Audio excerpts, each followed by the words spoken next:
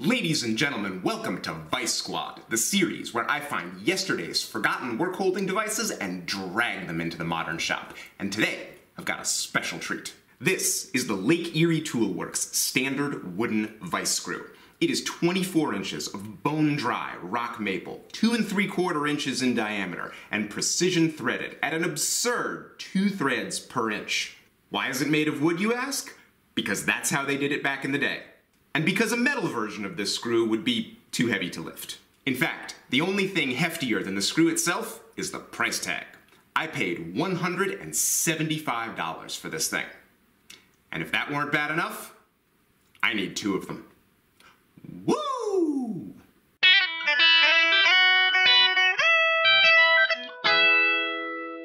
Today, I'm making the wooden twin screw vise. Now, it's easy to confuse this vise with the popular Moxon vise, but this is really a different thing. This is a portable, detachable vise that you take out and put on your bench for doing specialty joinery tasks, like dovetails, and then you take it off again. The twin screw vise is a different thing. It is big enough and sturdy enough, and it is built right into the bench, so it can handle every woodworking operation. At least, that's what I've read. I've never actually used one. All the books agree that these vices were big and beefy, so this project demands a thick, hardwood jaw. I'm using this piece of reclaimed tulip wood. It's a heavy and dense species. Up until a few years ago, this piece was supporting heavy machinery as part of a factory floor, so it's perfect for this project. I use an aggressive saw to quickly get the piece down to size, but that leaves a rough surface. Luckily, my advanced shooting board is designed to handle big, long timbers, and you can use it with pretty much any plane, even a weird antique like this one. I've got plans and a video if you'd like to build one. As big as it is, this plank is still too narrow to handle these enormous screws, so I add a strip of white oak along the bottom and leave it to dry. But wait a second, why am I even building this thing? Well, it's mostly because of the Dominys. They were a family of early American craftsmen, and if I'm honest, I'm a little bit obsessed with them. The Dominys were way more than woodworkers. They were a dynasty of craftsmen that practiced a huge range of crafts across three generations, spanning more than a hundred years of the golden age of American handwork. Of course, they built furniture, but the Dominys were also carpenters, surveyors, farmers, cabinet makers, gunsmiths, metalsmiths, and clockmakers. Think about that. These guys built complete clocks from scratch by hand. I mean, that was pretty much the only way to build a clock in the 18th century, but still, it's impressive. These were master craftsmen. They could have had any vice they wanted to, but on the three benches in the Dominy shop, every single one of them has a big twin screw vice built in. And I want to know why. The Dominys took a lot of pride in their tools and built everything to a high standard.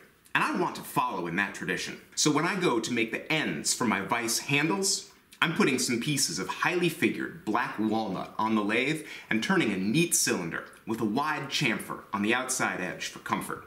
The Dominys were master turners with at least three lathes in their shop, so they would have done work like this every day. I'd like to get a fast finish on these ends, so I'm trying out this sanding paste made by the channel Brad's Workbench. It's just a fine abrasive in paste form, and it lets me quickly take out some of my final sanding scratches and get the surface prepped for a finish. Brad also makes this finishing product he calls Tung Wax, which is pure tung oil that's somehow made into a wax. Honestly, I have no idea what's going on here, but I've smeared this goop on, turn on the lathe, crank it up to a high speed, and buff it out. The final finish really does look great. And it was quick. I don't get anything if you buy some of this stuff, but Brad is a buddy of mine, and this stuff actually works. And he is hand making it in his kitchen. I'm sure his wife is delighted about that. I will leave a link down in the description. Of course, once this thing is done, I'm going to need somewhere to put it. So my old cast iron vise on my big workbench needs to go. This is actually a weird moment for me. This is the first woodworking vise I ever owned, and I thought it would be the last one I ever needed. But it hasn't worked out that way. There's a whole world of vices out there, and it turns out this beautiful vintage one that I spent months tracking down and paid good money for and very carefully restored, well, it might not be that great. Now that it's off the bench, I'm not sure it's ever going back on again. Now, A twin screw vise works a lot better on a bench with an apron, but you'd be surprised how often you can just add an apron to an existing bench. This is just construction grade 2x10, and all I have to do is screw it to the legs and the top, plane the top edge flush, and trim off the extra length. Carefully. Honestly, this old bench was getting pretty wobbly anyway. Five screws and a chunk of construction lumber really tighten things up, and I can get under there with one of these wooden nuts and trace its position. Then the apron comes back off, and I can use the nut to trace the hole location, and use a compass to widen it up into a clearance hole. Once you have one location, you can measure over and lay out the other one. It really pays to take your time here. Between the nuts, the apron holes, and the holes in the jaw, you've got a lot of things that need to line up. Once you're sure of the layout, you can drill a hole and thread the blade of a turning saw right through.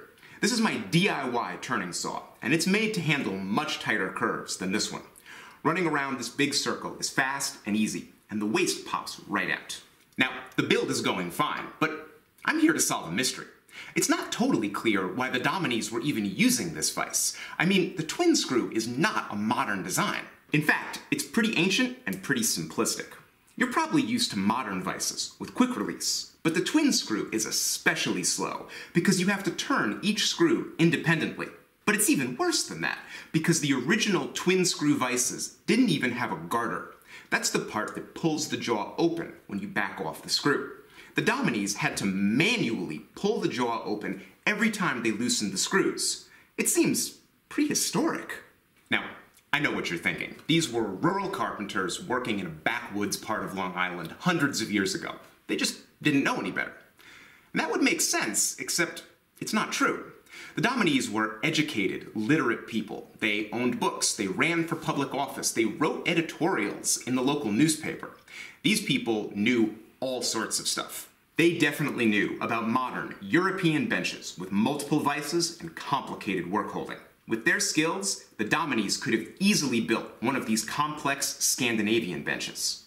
But they didn't. And it gets even more interesting. Let's go back and look at that Dominy bench again. See that slot in the bottom of the leg? You know what that's for? A leg vise. Not unlike the one I've got here, except theirs would have had the traditional pegboard going through the leg. This isn't just me speculating either. Historians agree that two out of the three Dominy benches originally had leg vices. And at some point, they pulled them off and switched over to twin screws on all three benches. Now, I love my leg vise. It is the best vise I have ever used. But the Dominys abandoned the leg vise for the twin screw, which seems so much clunkier and more difficult. I have to know why they did that. Guess I better finish building the thing. The nuts that come with the Lake Erie screws are nice and thick, but that makes mounting them difficult. So I bore a deep countersink into each corner and drill through for my fasteners. Then I can install the nuts with long screws, sandwich everything together, and transfer the hole locations. Then all I have to do is cut out my final holes on the hardwood jaw and do a little cleanup with rasps and sandpaper. You need these holes to be big enough for the screws to pass through, but not so huge that the hubs on the screw can't grip the jaw. It's better to make them a little small and then widen them gradually. A little bit of scrap leather glued to the inside of the jaws makes every vise work better, and it only takes a few minutes. Then, it's just a matter of assembling it, threading in the screws, adding the handles, and, well, getting to know the damn thing. So, how's it work? There's definitely some fiddling around to keep the jaw parallel and get it tightened down. No doubt, you'd get used to this if you worked with this vise every day, but it takes a minute. Once I do have a piece of wood in the vise, the hold is astonishing. Most wooden vices have a single screw and use some kind of leverage to apply force. Those designs are fast, but they do waste some clamping power. The twin screw is not like this. In fact, I can move the whole bench around by pulling on this piece of wood. This is my big bench, loaded with tools, and it weighs over 200 pounds. The wood in the vise doesn't even budge. And that's very nice, but what about capacity? I suspect this is mostly a cabinet maker's vise, so it needs to hold wide pieces of wood straight up and down for joinery. I built mine with 21 inches between the screws, so I can drop a really wide board right in there and dovetail the whole end. In this case, that would be absurd because of the giant knot in the middle of the board, but you get the idea. For edge work, the twin screw is actually really convenient. With two screws, you can just lay a board across them while you get the jaw tightened.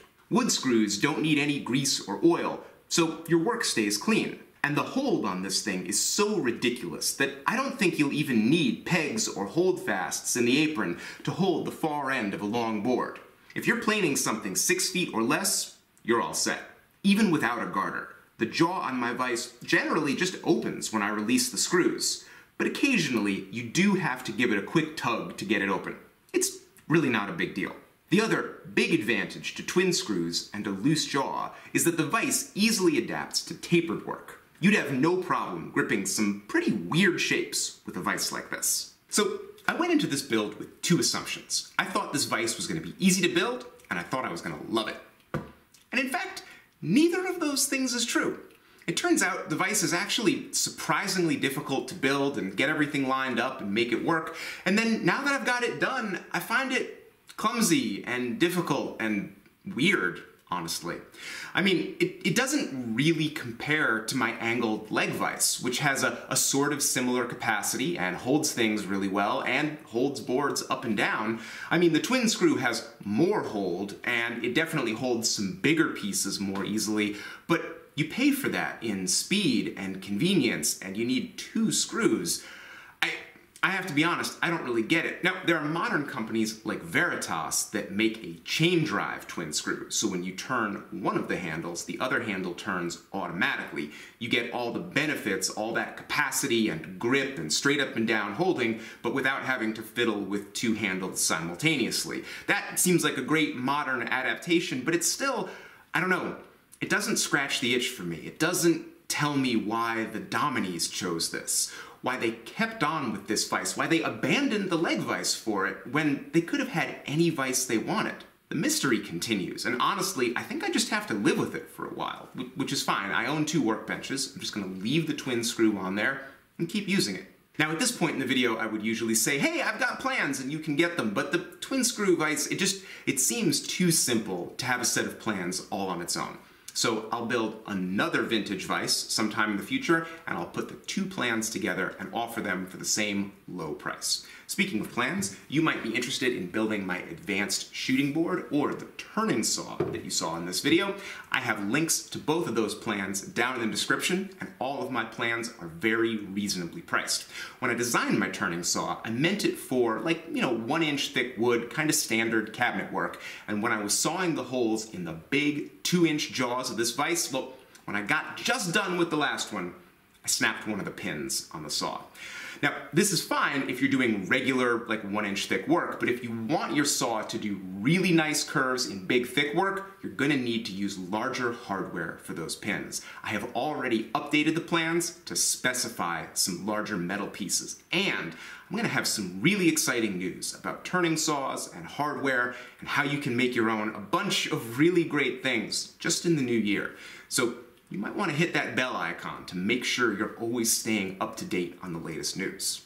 And speaking of news, there's one group of people who are never surprised by anything they hear in this channel. It's my patrons on Patreon. If it's a video, they've already seen it. If it's a piece of writing, they've already read it. And if it's new, they've already heard about it. Because I tell them about everything first. If you'd like to be one of those people, go on over to patreon.com slash rexkrueger and check out all the early access, sneak peeks, behind the scenes, and other rewards that I give to the people who make this stuff possible. And listen, I don't know about you all, but this holiday season is, I mean, whew, it's really something. It's, it hasn't been easy. I hope everybody's staying safe. I hope everybody's doing well.